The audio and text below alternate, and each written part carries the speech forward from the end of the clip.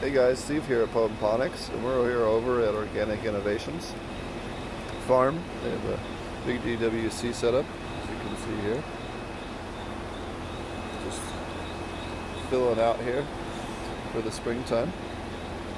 And uh, in the springtime, people often get aphids in their greenhouse, be it lettuce or cannabis, doesn't matter. So one of the great ways to kind of fend that off so you don't have that problem before you even start to get it is to release something like Aphidius colemani in here in order to um, uh, prevent uh, any aphids that do find their way in from establishing themselves and, and really feeding on the plants much. So if you're looking for uh, a great option for eliminating aphids, this is a great option uh, for doing so. Uh, we get ours from Arbico.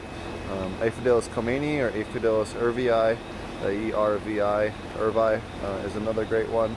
And just a little wasp in here. Gonna, we're going to open it up and we're going to show you what it's like to release them. So you can see here, little itty bitty wasps. put that down on the raft here. Oh, dreadlock getting in the way. Got him in my dreads. We got, we got Colemani in the dreads. All right. Should have had those tied up anyway. There you go. Here's all your little aphids.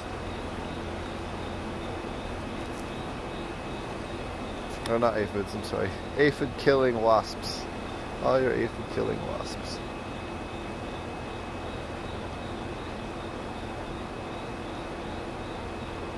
As you can see, they do not sting. We're just going to sprinkle them around here and there in the grow.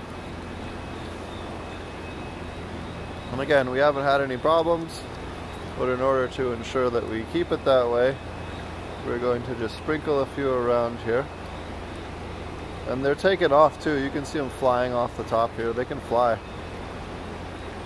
and they can smell the, the smell and the hormones and the pheromones from the aphids and, and help track them down. And they're not very expensive either. You know, treat this whole greenhouse. I don't remember what it was, but I'll see if I can put it in the description there.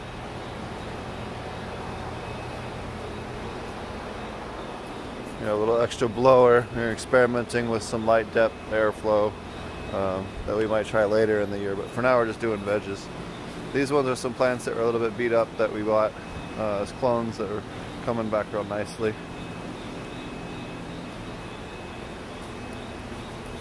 We have some more more plants over here. These guys just went into the beds. Some clones over here. Empty ones where we planted out last week. We get those refilled. Whoop. A little extra sprinkle. We have some more plants here. You're putting some Hypoaspis miles on there, or Stratiolaelaps scimitus, depending on which book you're reading. Again, all part of our, our integrated pest management program, using lots of different types of beneficial insects uh, in our pest management uh, regimen. This way we have an army ready to greet any pests that thinks it's a wise idea to come in here. Uh, they are, are, happily greeted with people that love to feed on them, uh, which is a much easier way than trying to play catch up with sprays. Here's the rest of the systems here. You can see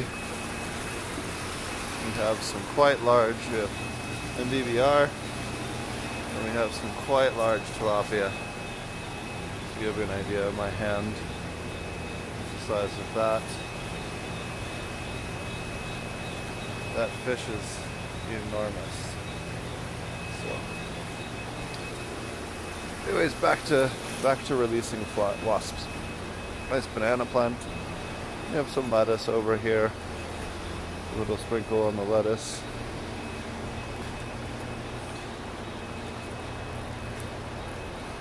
Just to make sure they don't get any aphids either. A little basil.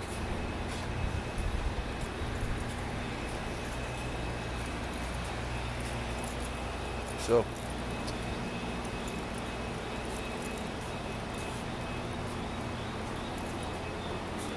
Trying to make sure we just get a good coverage. Those other plants that you guys could see farther back are they're all going outside soon, so I'm not worried about those.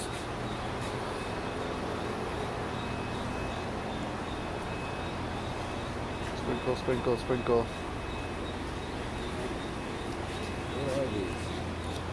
There you go. They were in here.